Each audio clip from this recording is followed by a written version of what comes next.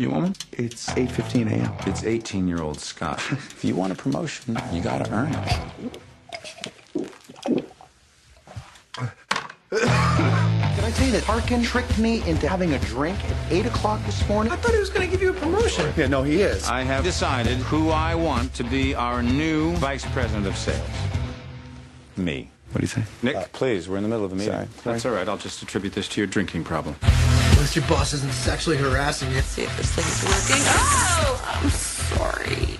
I'm a squirter, Dale. You know, yours doesn't sound that bad. We need to trim some of the fat. What do you mean by trim the fat? I want you to fire the fat people. They're lazy and they're slow and they make me sad to look at. You can start with large Marge. Marge, can you come in here, please? What? You would have to admit our lives would be easier if our bosses weren't alive. You can fire Professor Xavier. You mean Hank? Creeps me out, rolling around all day in his special little secret chair.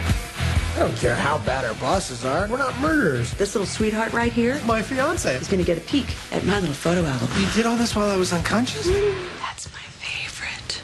You know what? That's crossing the line. I'm in. Let's kill this bitch. We gotta hire a professional. Does anyone here kill people for money? I'm gonna be your murder consultant. Word. You wanna pull off a brilliant murder? It's act like it's an accident. Ah! You gotta be smart. I'm gonna honk the horn six times. Something much more subtle. Four honks. Can you honk once? People honk once all the time. You're gonna be running in and out of the house. know it's you. Come on, No, it's man. you. Worth what? Fifteen thousand. I feel like everything's gonna work out. Look how fast I'm picking out this crap. You know, I'm moving like super fast. I can't even feel my nose. Find them vulnerable. Peanuts. That was a peanut butter sandwich. Are you not good with peanuts? Whoa, whoa. Look at this. What about little jabs? Little jabs. My boss, who we're planning to kill, is dying in front of you and you saved his life? Well, that sounds bad when you say it like that.